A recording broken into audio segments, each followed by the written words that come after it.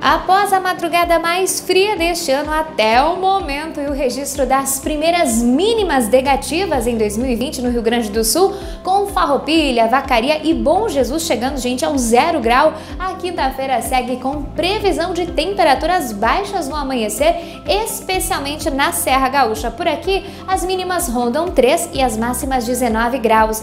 Na capital, os termômetros oscilam entre 13 e 21 graus. De acordo com a Metsu Meteorologia, meteorologia, ainda há chance de geada na faixa norte por conta ainda da influência de uma massa de ar seco e frio e da alta pressão atmosférica que está atuando no estado desde o início da semana. O sol continua predominando no território gaúcho com tempo firme aí na maioria das regiões.